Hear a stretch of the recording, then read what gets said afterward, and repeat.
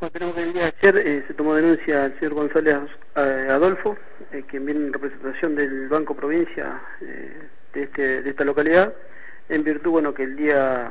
5 del corriente, la personal en la entidad bancaria, bueno, se constata que tres cajeros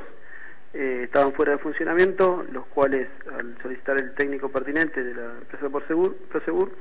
se hacen presentes en el lugar y, bueno, se llega a la conclusión que dicho las lectoras de los cajeros habían sido dañados ya que le habían introducido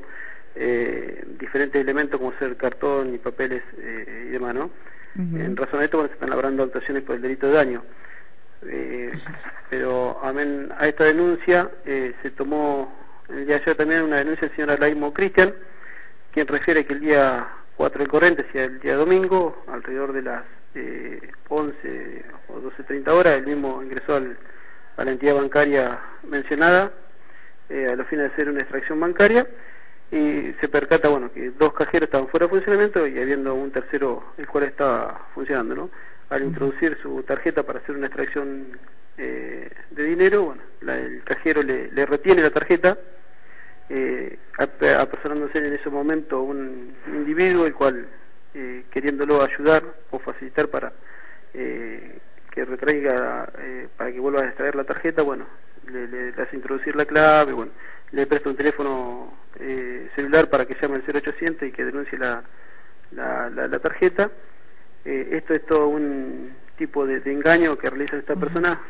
para luego, cuando se retira el propio damnificado, quien dejara la tarjeta, bueno, ellos los proceden a extraer y, hacen las extracciones bancarias, digamos, engañando a la, persona, ¿no? Esto ya, si bien el señor Araimo en la retención del cajero de, la, de su tarjeta no fue fue retenida efectivamente por el cajero y no le pudieron realizar ninguna extracción bancaria, sí se, lograron el cometido de estos individuos en otras localidades vecinas acá a Bajo, ¿no?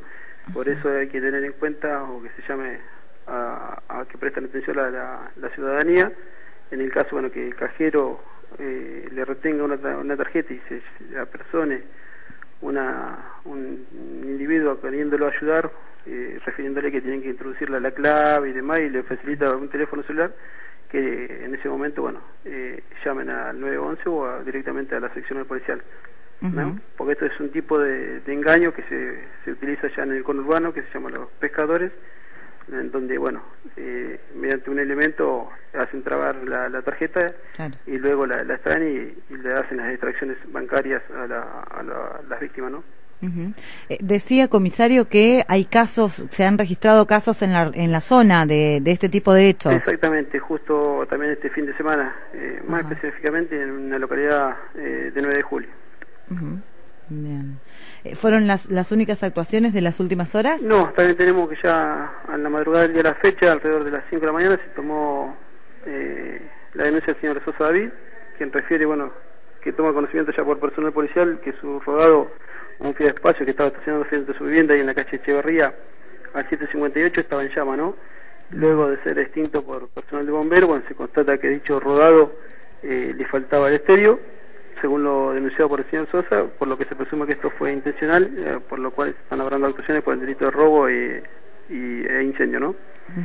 Y también, eh, a, modo de comentario, eh, también los bomberos voluntarios fueron convocados alrededor de las 4 de la mañana por un intenso humo que había en el comercio denominado 312, ¿no? Esto fue a raíz de un cortocircuito en la heladera del lugar y en dicho lugar uno de los bomberos eh, que participó en este siniestro eh, tuvo un principio de intoxicación, lo cual fue derivado al hospital local, pero bueno, no pasó mayores. Eh, comisario, como siempre, le agradecemos muchísimo por la información. No, de nada, Andrea. Que tenga buen día. Hasta luego. Gracias, igualmente.